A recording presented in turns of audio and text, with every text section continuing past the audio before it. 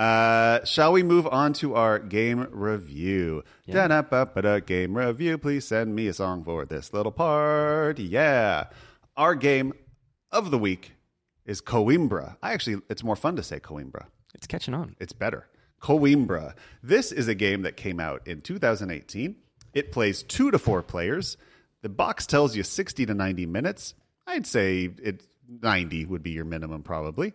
Uh, two hours, I think, is totally safe. Board games are famous for lying about their playtime. They always lie, yeah. Um, Flaminia Brazzini and Virginio Gigli, uh, definitely saying those incorrectly, and I apologize for that. Those are the designers of uh, Coimbra. They also designed my favorite game of 2016, Lorenzo Il Magnifico. Uh, and they are a part of the sort of Italian elite of medium weight board game designers. Uh, Gigli also did Grand Austria Hotel with Simone Luciani. Simone Luciani, who's probably my favorite Italian designer, who did Tzolk'in, Marco Polo, and Lorenzo. Um, do Italian designers j- just make the best medium weight Euros? And why? what is happening in Italy that allows these individuals to make just the best medium weight Euros of the last, I don't know, 10 years? I think it's a it's a good question. It's not one I am prepared to answer. No, but I, think I- we we can certainly look at these games and say they're amazing. Yeah. I mean, Tzolk'in, Marco Polo, Lorenzo, and now Coimbra are all Those are all super fan- great games. Fantastic Super games. I'm great. always happy to play, and as you know me, that there's plenty of games that I'm not happy to Yeah. play, and those are always on the list. And I think I think th- there must be just this little pod of gamers there that are feeding off of each other and working together. And I mean, they, they all seem to work on each other's games. So uh, there is some sort of overlap happening. And you'll always find at least one of these guys on a list of you know a new uh, Italian medium weight euro. Um, they seem to sort of swap back and forth. They don't. They, it's not like they have. It's not like one of them always works with one of them. They seem to always be switching around. If you like, you know, you look at one of them and you'll see, oh, he designed it with this. That guy designed this with him. Da da da. But those names, Flaminia Brazzini, Virginio Gigli, and Simone Luciani, seem to be on almost all of them at some point. Yeah, I feel like a, a theme is emerging here of of like the board game industry starting to kind of mirror what took place in film theory. Yeah, like this is the Italian neo-realists, and then there's the French New Wave happening over here. And But you do see that like there's a cult, there's a culture there where they're Yeah. they're feeding off of each other, they're doing really good things, they're collaborating with each other, and we see that in film all the time. Um, you know, you get a scene. Recently, a like scene. suddenly, you know, direct uh, Mexican directors, Yeah, of were course. you know, huge, Yeah. now, and that's kind of like how does that happen? And, and there's like a certain critical mass that happens, maybe because they all come from a certain school, Mm-hmm. Yeah. they're friends, Similar film they, feel- schools. they feed off of each other rather than working in isolation, and some really great stuff happens, and I think that's what we're seeing here. Yeah. So Coimbra is the latest from the uh, the Italian neo-realist board game world, uh, and it is a dice placement. I think is what we'd say instead of worker placement. This is it is a worker placement mechanic, but instead of workers, you are placing dice on the board in order to take actions. Let's do a brief rules dive here just so people understand the basics of the game. So the first thing that you're going to do is you are going to have a slight asymmetrical start. There are this is a card-based game much like Lorenzo is where there's a deck of cards that are all going to come out in a certain order. Uh, the order of uh, the cards are going to come out depending on the age is going to be slightly different. There's level 1s, level 2s, level 3s, but within those it's all shuffled up. You will see every card every game, but you don't necessarily know when the card is going to come out. So the uh, age one or level one cards are all put into pairs, and then people asymmetrically, well, uh, in reverse turn order, select them, and those sort of give you your starting powers. Usually, sometimes they'll give you a little bit of extra starting goods. Sometimes they're going to give you little ongoing powers. And uh, everybody starts with seven money and seven military. There are two incomes and two resources in this game, and all cards are either purchased with money or with military power. So let's start with like the theme of the game. sure. Like, what's the narrative? oh, there's a theme in the game. there is. Oh, okay. What's the theme in this game? Okay, so if I understand it correctly, uh, Coimbra is a Portuguese city. Yes. We are in the age of discovery, and each of us is playing a house, like a great house. Right. So maybe the Italian, like Medici Mm-hmm. kind of thinking at operation here. So we're each playing a great house, and we are essentially like re- recruiting the city's most famous, powerful citizens to our side. So Right. Right. part Each of the mechanics of the game mostly involve getting these citizen cards that are four different types and adding them to our tableau, Mm-hmm. which are then giving us powers. Right. And um, Sometimes end game scoring, sometimes in game powers, sometimes just one shot resource injections. Right. I, the we will start on a level playing field, and then as the game progresses, each of our positions will start to vary in terms of what we're good at Yeah. based upon the citizens that we have recruited, which is directly affecting essentially what are like four different tech trees Right. that are giving us certain powers Yes. when we take an action. And those tech trees are are the main knobs of the game that you are turning in order to sort of decide what you are good at and what your path of victory is. And this is something that you that board gamers, experienced board gamers, will be somewhat familiar with from uh, games like Tzolk'in or or Terra Mystica, Terra Mystica. or now Gaia Project. A, a lot of ones track, you know, a tech, some kind of tech tree Mm-hmm. or cult track or something like that, where you've devoted resources and now you're better at a certain thing as you progress up that track. and there's usually some form of an area majority fight for that track as well. Whoever Right. both giving you powers and then you'll score it at the end, end of the game. Um, So to me, the cool mechanic in this game is that it uses dice in two different ways for the for the pips on the dice and for the color of the dice. So there are, I think, four different colors, and well, yeah, one for each of the tracks, four different colors, and then one white die, which is a wild die. You roll all those dice, and then you draft them one at a time. So people select dice, and then you place dice in. And there are four different sort of worker placement spots in the game. And at first, you are only drafting where you place them. The number is what's relevant. Later on, the color is what's relevant. later on in the turn, yeah. Later on in the turn, and that is a really cool idea to me. Is that at first all I care about is the number, but I need to think about later on that color is going to be really relevant of what color die I take. So uh, there are I'm gonna, make a correction later, Oh, yeah, sure. later on in the round. Later on in the round. Right, we're making this, especially if it's You're our podcast thing.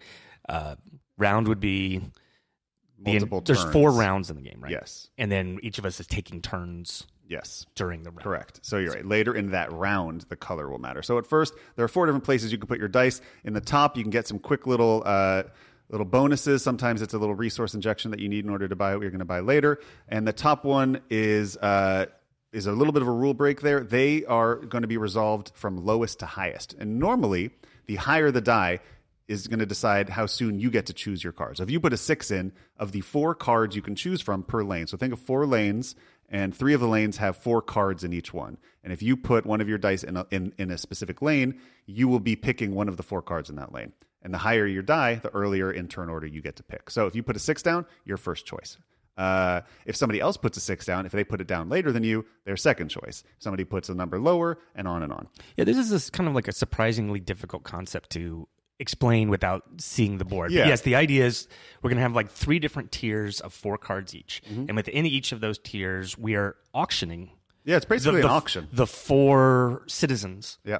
and we're going to want you know based upon what our strategy is i might i might look at this group of four cards and say i'm really interested in one of these cards i'm kind of interested in a second card and i'm not at all interested in the third Yeah. and fourth and based upon if i put a die in that section you know the amount of pips i put on there is my order is going to determine the order in which i can auction and it's also going to determine what you pay for that pay. card. which is so if I awesome place a six there, I'm saying I want first choice and I'm willing to pay six, the maximum. right? And each card either has a military symbol or a money symbol on it, and that decides what you must pay for it. So if it's a military symbol, that means you know thematically those are the you, two you can only be swayed by how much military power you have, and the other person will only be swayed by money. But the how much you're spending, whether it's military or money, is completely dependent on the pip on the die. So if, if you see a card and you go, basically, you want to drop a six if you see a card that is, I need that card for my strategy, or else I'm in trouble.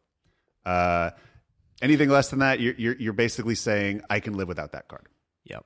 So I think um, we're not here to explain the entire game. Yeah. But what's cool, I think, about this um, game is the way that they're using the dice in multiple ways. Um, in the same way that we see, like the Carl Chudyk games, the the um, innovation, innovation, Glory to Rome. Glory to Rome, that are trying to use cards in you know three or four different ways that you can use a card. Here, you're seeing dice being repurposed to a number of different me- mechanics. Right. That's a great analogy. Yeah. Um, and it's also using dice in a way that I think is more appropriate to like the board game world, or at least the Euro, the serious Euro world, where um, we're rolling the dice first. Yeah.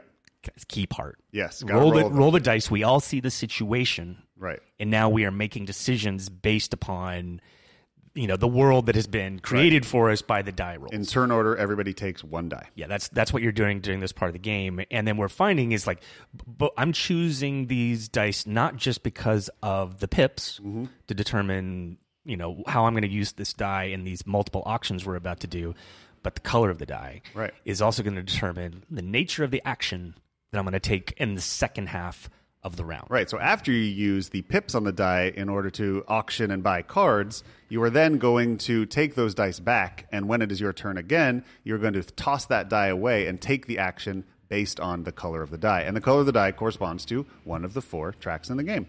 So let's say you're on the orange track, which is the money track, and you are halfway up it. You will see next to where your little circle is, where you are on that track, a certain amount of money. For every orange die that you throw away, you get that much money. And each track has a different thing. It's money, military, movement on the uh, map, which we'll talk about, and then victory points. So each die will get you one of those things. So uh, those dice are usually your only way to get money or military, which are the main resources you'll need for next round Those the main to way, keep yep. it going. Yeah. So right, um, orange and gray are your get resources dice, Mm-hmm. and then green and purple are your kind of spend resources. Yes. I mean, exactly. I, purple's Well, move. purples purples get specific things that are ba- so let's talk about the map yeah, but when you have the resources, that's what you actually use to buy your cards. right in but the next round yeah those are kind of your engine things are coins and guards. Yep. And, uh, and I would say one of the insights of the game is that you don't want to try to do both of these. You, Yeah, you actually really have co- to pick one. You want to specialize. yeah you're either you're either strong in money or strong in military Trying to do both is is, Yeah. Is a classic blunder. and so and then the last one the green one is points which i have tried many times as have other players to see if you can really have a green only strategy and we have found you cannot uh, we'll get into strategy later I don't think that's been proven. No, I, I I have not seen it done. I have not seen a green only strategy work where you're really just pushing the in game points as opposed to the end game points. That could just be a, uh, a player deficiency problem in skill level on my part. Uh, I just I don't think we have enough reps yet, and I also think that yes, like the green dice early in the game are should be devalued, yeah, and then if you didn't put the work in to pump the green track up. Right. At the end of the game, they can be worth a, a ton, but you had to have done the work. And the question is, is that a viable strategy compared to map strategy? Right. And at least in our group right now, map strategy seems to be dominant. seems to be very strong. So there is a map in the game, and uh, on that map, each one of you are going to have a little meeple character, a little guy, and you're going to start off on different sections of the map, and you're going to all sort of spread out to different areas. And on the map, there are going to be randomly put out tokens. On each of these tokens are going to be some rewards you get by achieving by getting to that place on the map. When you get to that place on the map, you drop one of your little circles on it to show that you've been there. It doesn't block other people; everyone can go everywhere, but you are all going to be starting out spreading in different directions. So if you if you end up wanting to go where somebody else went, it's going to take you a little work to get there because you start sort of pointing. Everybody starts pointing in a different direction, northeast, southeast, you know, like that. Um, there are on the very outskirts of the map. There are level threes, which are going to be big end game scorers that you're going to want to you build your your game around getting to them at the end because when you get there, you get the points instantly, and they're usually going to be things that reward. You know, if you have the most purple cards, you'll get two points for every purple card you've collected throughout the game. So you wouldn't want to rush there. You want to hit it at the very end of the game and get as many points as you can.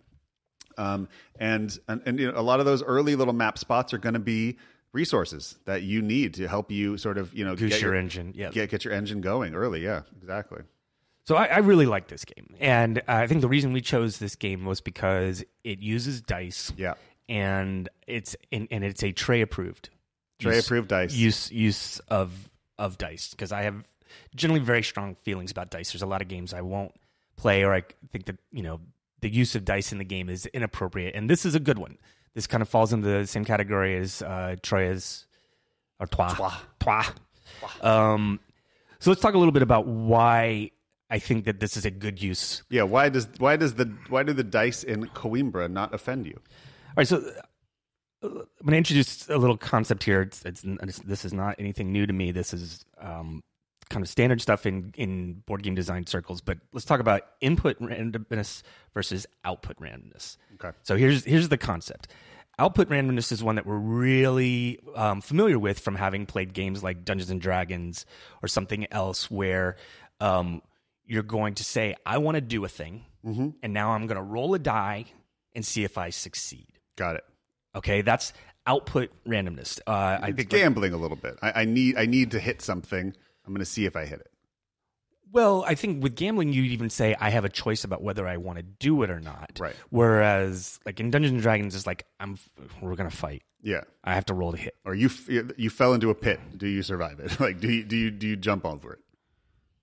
Fell into um, okay. I guess so. Here's the actual like I, I got a technical definition. Okay, here. please. Yeah. This is the noise injected between the player's decision and the outcome. And noise here we should use as a term to mean like randomness or um, the thing that makes that puts uncertainty. Mm-hmm. And there's like there's plenty of noise in games a lot of times that isn't like I'm rolling a die. It's just like I just don't know the situation here. I don't know what you're gonna do. I don't know how the cards are gonna flip. Right. I don't know how the dice. But that's that could be um, that's what we would call noise. So I want to do a thing. Did I succeed? That's output randomness. Input randomness is, you know, whatever the element of luck or chance is, uh, happens generally first, and then it informs the player before they make a decision. Okay. And so this is exactly what we're talking about with games like Coimbra or Trois, where we have a bunch of dice, we roll a bunch of dice, everybody sees it. We have this like playing field that we then all can react to, Right. and, And that's where you- the what are you gonna do with those richness of our decisions is the randomness, and, and it goes to replayability too. Yep. Of you know how do you react to these dice, but it's not a case of like I want to do a thing. Do I succeed? Roll, roll, roll Right. yay or roll roll roll uh, you know like Yeah. that's that's output randomness And the input one get, has an interesting uh, sort of player experience because often we'll all roll those dice, and as a group, we'll all go, "Oh, this is going to be some round. Like, oh, this is going to be a pretty intense round. This, oh man, this is going to be a cheap round. Like, whoa, guys, like." For people who've spent a lot of time collecting resources, like that did not pay off for you because everybody's going to be able to get anything, and then you get round to lots of sixes, and everybody goes like, but see but that's an example I'm where poor." the dice rolling in this game does have a little bit of output randomness to it i think Right. in that like say for example in this game you have um, and as it happened in our game last night i went really heavy on resource acquisition yeah, early on like i had a really good uh, guard you were never poor. engine. It was pretty exclusively guards, Yeah. but um, you know, I was maxing that out where I was going into rounds with twenty to spend, and Right. so in that case, like I actually want to see high dice. Yeah, Like when we roll the dice from the next round, That's I want to see high dice so that I can go in and buy the cards I want because I have more resources. so you can get people. two expensive cards, where everybody else can only get one. R- Right. So if if we had, in a sense, rolled the dice there and it had been a really low distribution, Yeah, that would have been an example kind of of output randomness of affecting me here Mm-hmm. because I was saying I I I want you know certain things are going to benefit me here and then the dice you know didn't go away I would like right. so a little bit But usually, when you're rolling a pool of, I think it's 17 dice in this game, you're usually going. There's usually going to be some sort of median, right? I mean, that's yeah the, the Although I- extremes I, are more think rare, you're starting to fall into the classic blunder of expecting dice to even out right? Like that's that's a lot of times what designers do is they'll use output randomness and when people like me object to it they'll say well it'll even out Right, end. right, there'll be enough die rolls that it'll even out and that's just not true Right. uh, or it, it, it doesn't have to be true at all sometimes it evens out sometimes it doesn't And you'll get someone like you just Stefan, Stefan Feld, who often will just say, you, you can see in his design, he does not believe they'll even out. So he gives you lots of levers for affecting the dice. You know, you spend workers to raise or lower, and you know, there's you can always you can always, if you're willing to pay the cost, make it whatever you need it to be. yeah that's like some form of compensation i think like acknowledging the weakness That's right. in in in going that route. Now the thing is, is like I think output randomness can be great. Um, it's just a question of it should be in the kind of game where you want output randomness. I think it's totally appropriate for Dungeons and Dragons. I think it's totally appropriate for Warhammer. Yeah. I think it's totally appropriate for a light game or a short game. Uh, I mean, Las Vegas is kind of built on this almost where you know like you you want that emotional thing of like roll roll roll yay Right. crit Right. or fumble like Yeah. these are all you know really can be very emotional exciting uh experiences it's just a question of what's the right match there? I don't want that in the game I've played for three hours. Yeah. For it to come down to a single die roll, Right.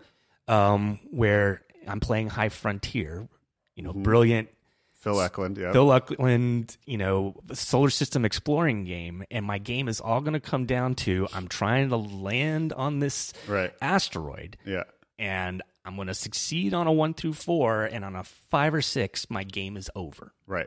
The designer, in that sense, I think would tell you those were the odds, and, but that's been and, and it may be the, that may actually be more factual and accurate to your actual chances of surviving something like that. But that does not necessarily make for a great play experience. That's right. It's like you, yes, you can totally justify that as like this is a simulation, Yeah. and this is working like a simulation. Yeah. and that's great, and I can appreciate that.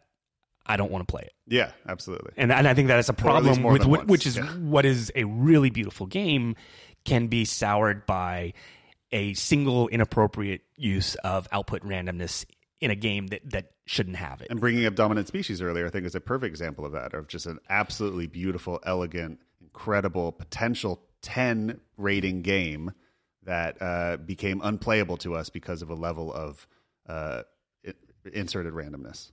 But it's also like the take that element there too. I, mean, I, I don't think it's as simple as just like the problem is not with dominant species is not that there's a die roll that screws you. Yeah. It's that there's these big super swingy cards, uh, you know, late in the game that are very. But the, but the randomness is when they come out, though, because if, if it comes out when it hurts you the most at a random time, whereas a turn later it wouldn't have hurt you at all, then that So in Coimbra, like along these lines, though, like there's plenty of card games where you're going to have variance in the way things come out, and that can benefit one player and not benefit another. But you see, like for example, in Coimbra, they're trying to compress variance for by, for example, splitting up the the citizen deck into uh, two halves, right. so that they Level have twos a and level threes. level twos and level threes. You know, the twos are going to come out in the first half of the game. The threes are going to come out in the second half of the game, and that way he's forcing a more even distribution of of the cards over the course of the game. So you see designers actively trying to mitigate uh, variance in what they uh, do. If you are interested in this topic, if you are a board game designer, um, there's a fantastic uh, lecture that Richard Garfield did. Uh, like six Designer of Magic the Gathering and most recently Keyforge. Keyforge. I mean, he's obviously one of the most important yeah, designers. if you're listening, you probably the- know who he yeah, is. right, and let's face it, Magic the Gathering kept this industry alive. Well, we are here because of Magic the Gathering. Yeah, you know. board games exist because of Magic the Gathering because it it, it, it, kept. All those stores would have closed Yeah, there'd be no without, without board Magic the. Gathering. I mean, Even today, I don't think there'd be board, many board game stores without Magic selling. But go on YouTube and just you know punch in Richard Garfield luck in games. He's got like a forty minute lecture that he's delivered a Oh, number of awesome. times. Um, that is going to make a lot of this stuff clear. And I guess so. The, the point I would make. Um, especially like why we were talking about Coimbra today is that I just think that output randomness does not belong for the most part in the games that we want to play as part of our board game group as more serious Euro gamers. I, I just generally think that that's a bad thing Yeah. and it doesn't belong in whatever form it takes. And it's just that dice are the best example of that in games that we see a lot of times. Absolutely. Let me give a quick review of, of for me on Coimbra. Um, I really do enjoy it. It's a funny thing. Now, I I really love Lorenzo a Magnifico. Uh, it is probably my favorite middleweight Euro that is not Trois. Uh, So that would make it my second favorite middleweight Euro. Um, I will always want to play Lorenzo. I'm always down for it to hit the table. I'm always very excited to see it. I love the new expansion, but I, I I loved it just as much before the expansion as well. I don't know if I'm I'm as excited to play Coimbra regularly. In fact, we when it first came out, we played it a bunch, and I kind of tired on it pretty quick. I, it felt um, a little less exciting to me than uh, Marco Polo or Lorenzo or even Grand Austria. Um, I'd almost rather play any of those than Coimbra, and and uh, it, and I think the reason I'm choosing between them is because they fill they, they scratch a very similar itch for me, and they take a similar amount of time and they require a similar amount of players. So if we're at a four player middleweight two hour game, I'm I don't know if I'm often going to choose Coimbra over Lorenzo or Marco Polo. Um, I think if given the choice, I, I never would actually. I think I would always rather play Lorenzo or Marco Polo. Um, when it comes to a two-hour, four-player dice placement game. Um, and I was trying to think about why that is. I th- I think it's, I think I don't know. I think Coimbra feels. I, th- I think the auction element of Coimbra uh, feels a little samey to me after round one or round two. I feel like they're they're while the dice are different and you have different choices. I feel like I don't feel like I'm doing much different. Whereas uh, within Lorenzo, I'm uh, really excited to see the next age of cards that are coming out. I'm really watching my engine build. I'm racing against other players to make sure that that that they're not getting the cards that I get. And then I'm trying to figure out how to. Okay, uh, he took that green card that I really needed in order to get my tableau going. How am I going to deal with it? I also have these cards that I'm trying to fulfill in my hand of you know appeasing these characters to get these huge big bonuses. There's just more exciting uh, decision space for me. For me in Coimbra, it's okay a little bit of a rinse and repeat feel. We've done a round. I don't necessarily feel like the next round is going to feel any different to me. It's just going to be doing it again. And while I like the I like the intrigue of ooh, let me place a die here to make sure I get and reading the card state, it feel I don't know for something there isn't an, enough escalation between the rounds to me of watching an engine build. The engine building I guess is really it feels more subtle to me. It feels like a much smaller dial turn than in Lorenzo. Like by the end of Marco Polo or Lorenzo, I feel like I I really did something. I really built something that's very different from everybody else. And or you know in Marco Polo, I went on a very different journey than everyone else, and I had different problems solving my you know issues of uh, resources and camels and things like that. So yeah, I don't know. To me, the do you feel? I mean, compared to those games, which I think it's it's it's quite apt to compare them because they're, they're, all the same designers and they feel similar. Where does Coimbra fall in that in that line for you? Yeah, I, th- I think I feel completely the opposite. Really? To you, you know, um, uh, Coimbra is my favorite of all those games. Coimbra, like, uh, is my. I haven't played all the games that you would need to play to say this is the best game of 2018, but yeah. it's the my favorite game that I played from 2018 that I've that I've played. I mean, you like I've, it more than Teotihuacan? Yeah, amazing. Okay. And I like that game. I would, I would have guessed you like Teotihuacan more. Nope. Um, and I, I think maybe part of the thing I like about Coimbra is some of the stuff that you're complaining about, in that I think it it is a little bit lighter. I think it's a little bit faster. Mm-hmm. I think it uh, is a little. It's more elegant. Like, yeah. I really like the way they use this the dice. Yeah in the game. And like we didn't even talk about like how you take the die yeah. and you place it in a little die well, holder that looks like a little castle. Was, let's talk about the components quickly because the components are beautiful. Now, the, the art is sort of a love hate thing, whether or not you like the art. It's a little cartoony and a little.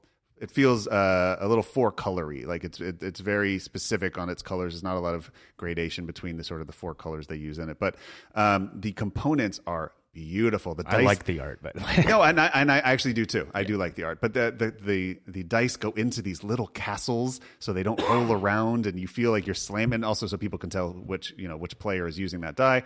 Um, the insert uh, of the box is absolutely beautiful. It holds everything perfectly. Uh, I love that. That's so cute. I was like, yeah, right. You, this insert porn. No, the insert is gorgeous and it holds everything beautifully. It is. Uh, you don't need baggies. No, but well, that's the thing. Also, because you don't need baggies, this is not a game you can store on its side. A lot of people uh, have side only board mm. game collections where you're just seeing the spine of the game and it's standing upright. Uh, this is a must be on its back game, or else all the pieces are going to spill out. Uh, so to some people, that will be a horrible uh, insert because you can't take it anywhere because all the pieces are going to shake around. But if you just keep your games on your shelf, it's going to be so easy to get it out and set it up. And yeah, the pieces are beautiful. It is a gorgeous game. I personally think uh, it is probably the best looking of these games in terms of components and design. Um, I still think Troyes to me is the most beautiful game ever made, but I, a lot of people also just don't like that art.